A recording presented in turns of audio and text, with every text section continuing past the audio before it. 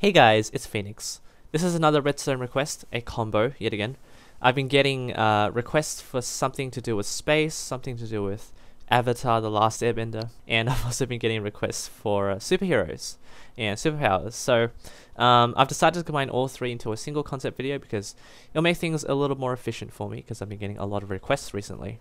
So um, again, if you guys have any redstone requests, feel free to leave a comment down on this video. Alrighty, so today I actually have celestial explosions and celestial powers to show you.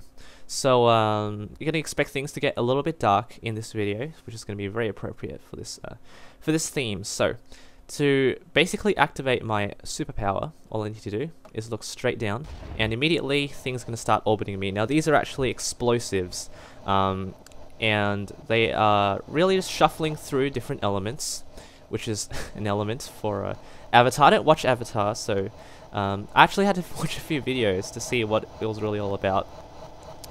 It's not too bad of a show. Uh, so basically, if I look straight down, you can see that this is a perfect orbit, perfect circle, and um, in order for me to activate these explosives, I actually need to detach myself from the orbit. Now, I'm the center of the orbit right now. You can see um, I've got a bit of an aura around me. And to detach myself, I just have to right click and now I've detached myself, and now I'm going to get a little bit nauseous, which I think is actually pretty cool, makes this effect a little cooler, in my opinion. And now the fireball is the center of the orbit, so for me to basically activate this uh, explosive, I need to punch the fireball, because uh, the... Because now the explosives are following the fireball, so I need to do this. Just punch it, and now things are going to get a bit destructive. Like that. So, uh, see the explosion is quite uh, massive. Um, okay, the sound's actually quite loud, so I can do this one more time to show you. I'm going to do it in F5 mode this time so you can see uh, exactly what's happening. A better view for you. Alright, so look down in F5 mode, and now I can see the orbits yet again around me. Now, they actually are following me, and it makes a really cool pattern because I've got the particles executing relative to the to the armor stand, so actually makes a lot look a lot better. So, in order for me to activate it again, simply detach myself from the orbit. Now I've got a fireball at center orbit, and now uh, I don't know if it's going to be easy for me to punch it in F5, I probably won't do that. Alright, so now I'm going to punch it like this. Now that looks pretty cool. I like how the uh, the void is now visible in for a short amount of time.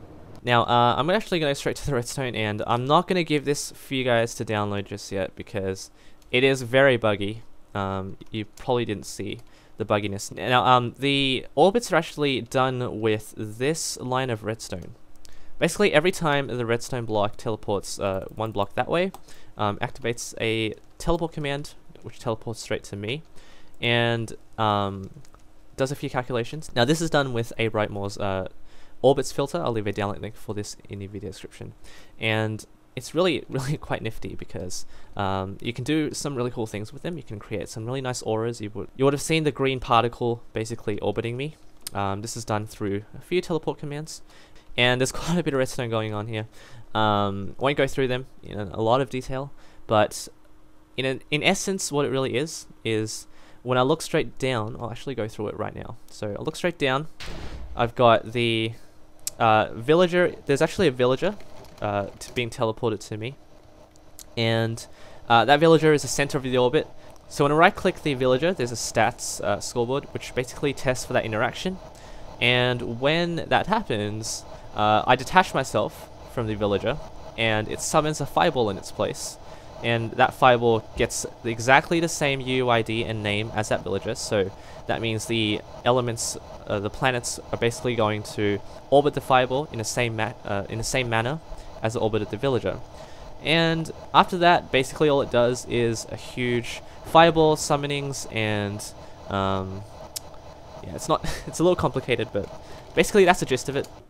I won't go through them in too much detail, but otherwise I'm actually gonna get rid of this nausea. there we go. Now that's probably damaged a lot of the redstone. Yeah, I'm not getting the effect cleared, so let's do that. Alright, yeah, I've damaged a lot of the redstone. I have a backup for this. It's okay. So anyway, hope you guys enjoyed this concept. I think it's really awesome. And if you did, make sure to leave a thumbs up on this video. And if you guys have any redstone requests, don't forget to leave a comment on this video. And thanks for watching. See you guys in the next video. Take care.